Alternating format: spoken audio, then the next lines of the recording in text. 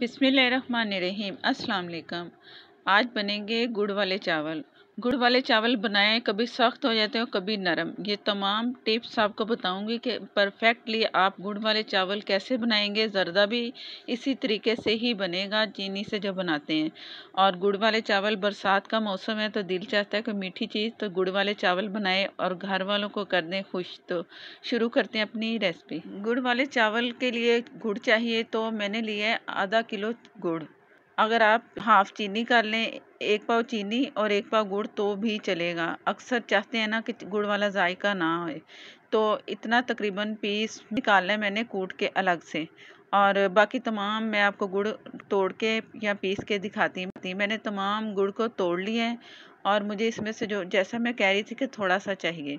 तो एक चम्मच मैं लेके मज़ीद उसे पीसना है मैंने तो आगे देखते हैं क्या करना है। मैंने एक पैन लिया, इसे थोड़ा सा गर्म किया। आप पहले ना चाहे गर्म करें, पहले गुड़ डाल और इसके बाद आप इस तरह पकाना है, कलर देना है। कलर इतना देना है कि हमारा जो इसका है ना, कलर ब्राउन से भी डार्क आना चाहिए, जो हमारे पास शीरा बनेगा। तो इससे मीडियम से कम या आप दम वाली आग पे इसे कलर देते रहें।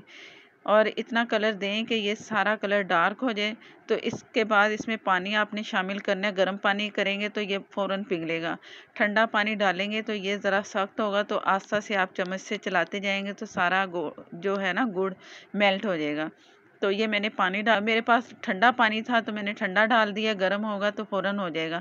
जितने आपको पीसीस नज़र आ रहे हैं ना, ये आराम आराम से सारे मिक्स हो जाएँगे। इसकी परेशानी नहीं है कि ये क्यों इतना सख्त पत्थर की तरह हो गया है। पानी में ये बहुत अच्छा शरबत की तरह बन जाएगा और कलर आप देख लो। ऐसा ही चाहिए। गुड़ को हमने कैरीमल कर लिया और इसका कलर ये बना के अब बाकी जो गुड़ है, ये इसमें हम शामिल कर देंगे।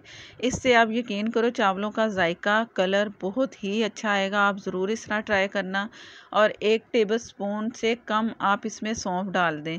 इस वक्त डाल दें या जब मैं डालूँगी, इस वक्त डाल दें और इससे हल्की आग पे मैं पकाऊँगी। थोड़ा सा पानी और डाल दिया, तकरीबन टोटल पानी इसमें आधा कप गया है बस। इससे ज़्यादा नहीं करना और जैसे ही गुड़ मेल्ट होना शुरू हुआ है ना तो मैंने चूल्हे से उतार लिया और चम्मच से प्रेस करेंगे ना, सारा गुड़ आपको पिसा हुआ मिल जाएगा। इसकी फ़िक्र ना करें कि ये क्यों नहीं हो रहा।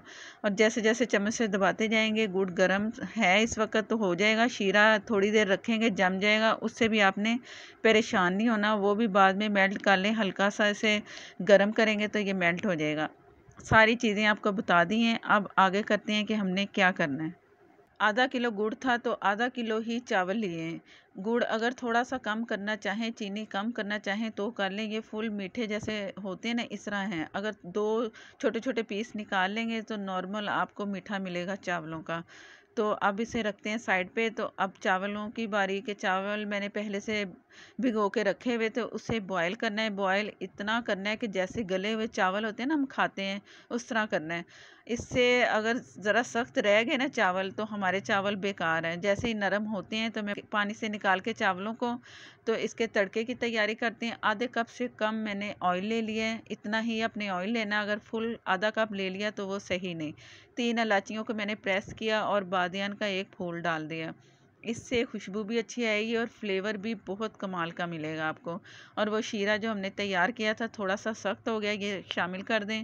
परेशान ना हो, जैसे चावल इसमें जाएँगे ना तो ये आपको पतला सा पानी नज़र आएगा, वो मैं आपको चेक करवाती हूँ। और इसके साथ ही इसमें मैंने सौंफ डाल दी, हाफ़ टेबल स्पून तकरीबन इसमें गई सौंफ। और ये इसमें चावल शामिल कर दिए, जो पूरे डन हुए, पूरे पके हुए, पूरे गले हुए। और ये इसमें मैं काली किशमिश डाल रही हूँ, आप कोई भी किशमिश डाल दें, आपकी मर्ज़ी है। ड्राई नट्स आप अपनी मर्ज़ी से डालें, मैं गार्निश के लिए रख दिए अलग से। और ये शोरबा पानी सा, हल्का सा, पतला सा जो आपको नज़र आ रहा है, शीरा, ये बन चुका है और चावल इसमें मिक्स हो चुके हैं। इससे मैं, नीचे मैंने तवा रख दिया है और इससे पंद्रह मिनट तक मैंने रखा और अब चम्मच चलाएँगे, इसे मिक्स करेंगे। मिक्स करके मैंने इसमें ऑरेंज पील रखे हैं। जो ऑरेंज होते हैं ना, उनका वाइट पार्ट मैंने उतार दिया और फ्रीज़ किया हुआ था। वो मैं इसमें डाल रही हूँ। कीड़ा डालना है आपकी मर्ज़ी है। मैं चंद ड्रॉप इसमें डालूँगी।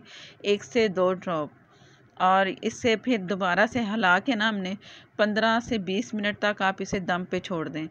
अगर आपको चावल सख्त लगे, चेक कर लें तो हल्का से आप पानी का आप छीटा लगा दें और उसके बाद दम पे रख दें। मैंने तवा रखा हुआ है मसलसल, जब से चावल इसमें डाले हैं। और ऊपर तवा, आप तवा रख के ऊपर आपने ढकना है और ढक के फिर जैसे स्टीम निकले ना, आग मैंने तेज़ कर दी है इस वक्त, जब मैं ऊपर ढक्कन इसका रखूँगी। तो आग तेज़ करके जैसे स्टीम निकले तो दम वाली आग पे आपने पंद्रह से बीस मिनट इसे छोड़ देना है।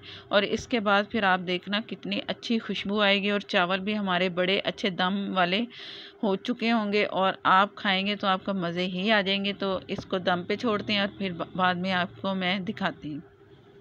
बिस्मिल्लाहिर्रहमानिर्रहीम। ये मैं दम के बाद आपको दिखा रही हूँ और बहुत ही मज़े की खुशबू आ रही है। आप ज़रूर ट्राई करना। जो हमने जिस तरीके से गुड़ को कलर दिया है ना, उससे जायका बहुत मज़े का और खुशबू बहुत अच्छी। और इसमें है देगी जायका। जैसे हम देख के गुड़ वाले चावल खाते हैं। और इसे अब चेक करवाती हूँ कि नीचे से भी बिल्कुल नहीं लगे। अक्सर मुझे कोई ना कोई कमेंट आता है कि आप स्टील के बर्तन में बनाती हैं तो स्टील का बर्तन जलता क्यों नहीं? आप एहतियात करें ना चूल्हा कम ज़्यादा करने की तो कभी कोई चीज़ नहीं जलती स्टील के पतीले में या कोई भी छोटा बर्तन हो। ये मेरा पास जो पतीला है ना, ये भी काफ़ी पतला है, तवा रख देती हूँ तो बिल्कुल नहीं जलता। तो इससे करते हैं डिश आउट मान रही। चावल अपने असली जगह पे आ चुके हैं, यानी कि डिश आउट हो रहे हैं मज़ेदार से और दिल चाह रहा है कि फ़ौर ही खाएँ। लेकिन आपको चेक करवा के फिर हम भी खाएँगे और आप भी ट्राई करना और मुझे लाइक देना मत भूला करें। और ऊपर आप ड्राई नट्स जो आपको पसंद है आप डालें इंजॉय करें। और अब मैं आपको एक नवाला चेक करवाती हूँ कि कितने लंबे लंबे खिले खिले चावल तैयार हो चुके हैं। ज़रूर ट्राई करें। वीडियो अच्छी लगे तो लाइक देना मत भूला करें। और नए देखने वाले प्लीज़ मुझे सपोर्ट करने के लिए मेरे चैनल को सब्सक्राइब कर लें। साथ में जो बेल है ज़रूर प्रेस किया करें। नोटिफिकेशन इसी से ही आपको मिलेगा। नेक्स्ट वीडियो तक के लिए इजाज़त दें।